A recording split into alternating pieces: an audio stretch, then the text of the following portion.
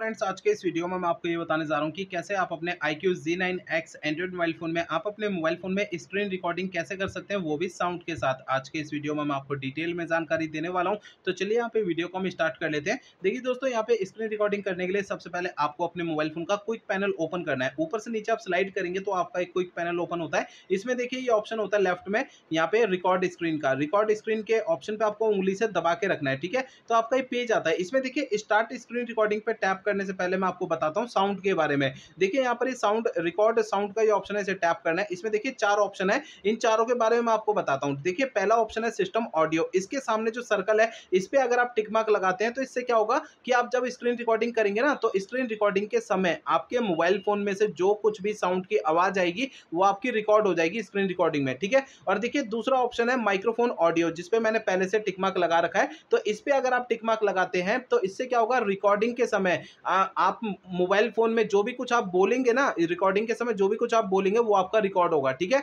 और देखिए तीसरा ऑप्शन है system audio and microphone sound इस ऑप्शन के सामने वाले सर्कल पे टिक मार्क लगाते हैं तो इससे क्या होगा? आपके रिकॉर्डिंग के समय आपके मोबाइल फ़ोन से जो आवाज़ आएगी वो भी आपकी रिकॉर्ड हो जाएगी और रिकॉर्डिंग के समय जो कुछ भी आप बोलेंगे वो भी आपका रिकॉर्ड हो जाएगा दोनों साउंड रिकॉर्ड होगा ठीक है? और देखिए चौथा ऑप्शन है नोन नोन के आगे अगर आप टिक मार्क लगा देते हैं और फिर आप स्क्रीन रिकॉर्डिंग चालू करते हैं तो इससे आपके फ़ोन में स्क्रीन रिकॉर्डिंग तो होगी, लेकिन कोई भी साउंड रिकॉर्ड नहीं होगा, ठीक है? तो इन चारों में से जो भी आपको ऑप्शन मतलब चाहिए तो उस पर आप टिकमार्क लगा लीजिए और इसके बाद स्क्रीन स्टार्ट स्क्रीन रिकॉर्डिंग का ऑप्शन टैप करना है, ठीक है?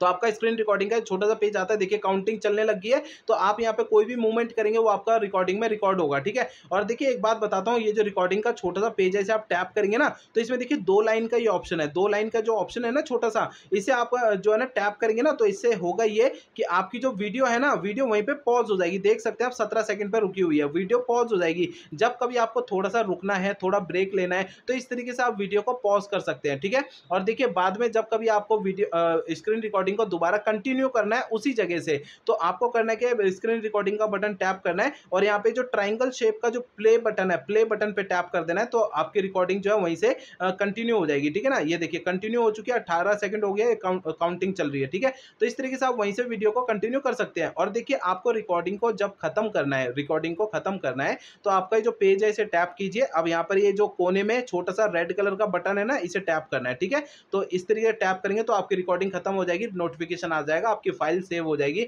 आपकी फ़ाइल आपको मोबाइल फ़ोन की गैलरी में एल्बम वगैरह में मिल जाएगी, ठीक है? तो इस तरीके से आप अपने फ़ोन में स्क्रीन रिकॉर्डिंग कर सकते हैं, वो भी साउंड के साथ, ठीक है?